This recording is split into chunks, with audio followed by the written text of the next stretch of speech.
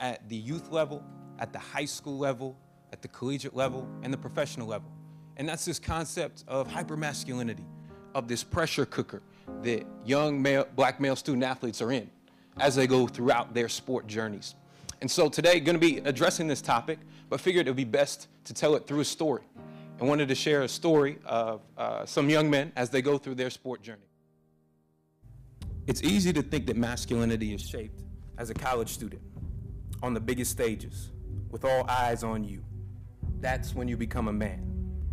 But actually, what research tells us is that masculinity and identity are shaped as an adolescent.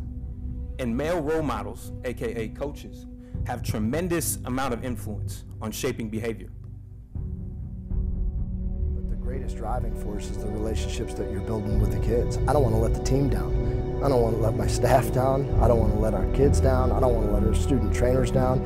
I don't want to let the cafeteria workers down because they care about what happens on Friday nights. We want to provide for others. We want to proclaim who we are and protect our own at all costs. And we want to win. And we want to win big and have fun while doing it. We love the lights. We love the stage. That's what we were bred to do. But somewhere along the way, the rules change. Barriers get crossed. It becomes more about winning than remaining true to ourselves.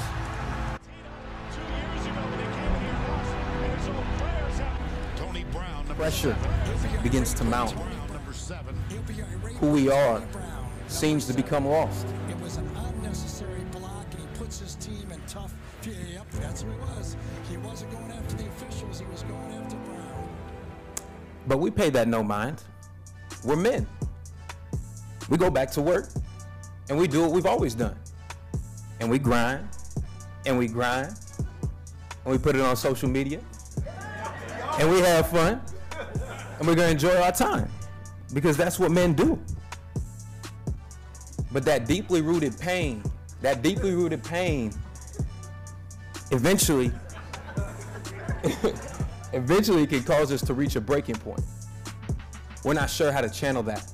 Our sense of, of masculinity is can, can be confused. This environment we're being shaped in. We care. We care so much, but sometimes it just comes out. It doesn't become fun anymore. And I'm not gonna get punked. Don't let me get punked on TV. But at the end of the day, I do it because I care. And I care so much. I care so much. Today was when all the work paid off, and you know God put me in a position, and I just try to take take advantage of my opportunity.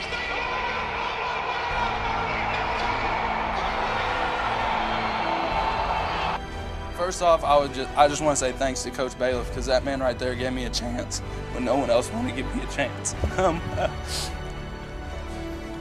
this is my only Division One offer, and uh, I broke my leg my senior year of high school, and no one, everyone sold me off, and uh, that man right there stuck with me.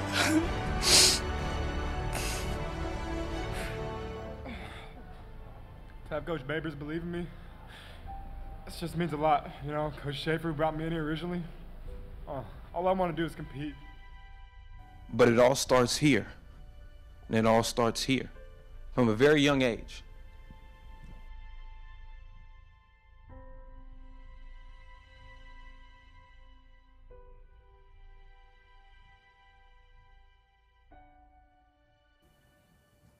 And so, like I said, I wanted to engage uh, in a conversation today about this topic of hypermasculinity. Where did it come from? And I figured I would start with my definition of where I came from. This is me, actually, my second year, my second year of Little League football. Now, my first year.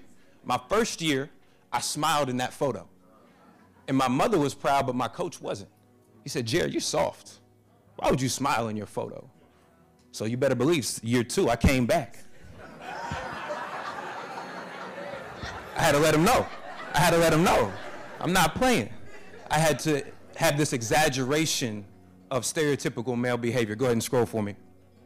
And so we're in this pressure cooker. Keep scrolling as you go. We're in this pressure cooker. We're seeing coaches get fired, new coaches jump. Uh, University of Houston, uh, pray for Coach Dana Holgorsen. He better go 10 and 2. I hope he goes 10 and 2, or you might want to pack your bags. And now with the new NCAA transfer rule, uh, athletes are allowed to pack their bags too.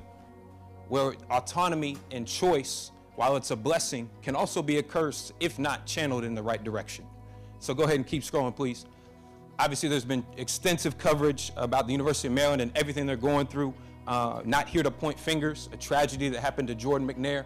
Not here to say they did this wrong or, you know, he said, she said. What I'm saying is there are good young men at that program. There are good coaches at that program. But somewhere along the line, things got skewed. Go ahead and scroll. And so uh, we really wanted to find out what are, what are young men's definitions of masculinity? Where is this coming from? So we interviewed uh, 20 Division One uh, black male student athletes uh, in track and field, football, basketball, baseball, hearing their thoughts. When it came to masculinity, it became a status that you have to earn. I'm not relying on anyone but myself. It's me. I have to do this. I put the picture of the dumbbells there. One young man said, when I don't know what to do or where to turn to, I just go to the, to the weight room and get a quick pump in. I said, okay. Another young man said, if I didn't come across as masculine in the locker room, I'd probably get made fun of. I would get clowned. And so again, this pressure cooker, we're in, this is the context that young men are being developed in. Go ahead and keep scrolling. And so this theme, this theme is that it's acceptable to be emotional. It's acceptable as long as it's in the prescribed context of, of what we're doing. Does that make sense? Go ahead and scroll for me. And so we're very quick to blame these coaches. We see it. We're very quick to blame that. And so in order to take a real objective look at this concept, we, we wanted to interview coaches as well. So we interviewed five Division One uh, football, basketball coaches, and the, the, the findings were very interesting. Very interesting. I spent a year as a coach myself and can really empathize with some of these responses. Saying that, that a lot of times we can't be phased by external things. It has to be very internal. We have to protect ourselves at all costs. I, I, I don't want to be that guy who leaves the office first. Where you, if you think masculinity is, is, is heightened in the locker room, go into a coach's meeting room. Go into a coach's meeting room. You better bring your, you bring, bring your stuff. Because I don't want to be that guy who leaves first. One coach uh, he even said that he had uh, turned to Adderall so he could stay focused on the job. Is a coach now because he didn't want to lose his job. He didn't want to lose his job. And so these men that we sometimes have a, a, a chance to blame are also in the same pressure cooker themselves. And so this theme of I'm, I'm going to disregard myself, disregard my well-being in order to receive this validation or out of fear. Different themes that emerge during these interviews. Go ahead and scroll for me. And so what, what are the implications? What does this mean? What does this mean? And so there, there's already a significant amount of coach training out there, but at the institutional level, what are we doing at the institutional level? You can go to a session like this, but this isn't every day. What are we doing on the day-to-day basis for our coaches who again are the main stakeholders? We can point to the research showing that coaches are main stakeholders in our young athletes' lives. What are we doing for these coaches? We have a mental health roundtable for our athletes, but do we have it for our coaches? How can we be more intentional about these conversations? How can we engage, Coach, how are you doing? How are you? Instead of just great win. they wouldn't be there if they weren't winning. I'll just tell you that. How can we be intentional with our coaches? How can we teach them to model? And again, I'm very passionate about this because we can teach our young men and women, but until we teach and train those who are investing the most in them, we're not going to see exponential results. And I know that's a very bold statement. It's a very bold statement. But a lot of the times, I think we, we think that it's going to be us. We're going to be the ones who change. I think that is true. But how can we continue to supplement that? How can we enhance that? How can we add on that by those who are already doing it?